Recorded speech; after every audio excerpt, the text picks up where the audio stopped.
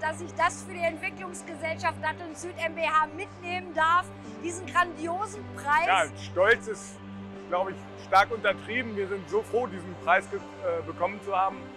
Ich glaube, für die ganze Mannschaft und für die, auch für die ganze Stadt ist es ein Riesenerfolg. Wir sind sehr stolz, ich finde das eine tolle Auszeichnung für das ganze Team. Ja, ich bin super stolz auf das ganze Team, weil natürlich die Jungs und Mädels super Arbeit geleistet haben.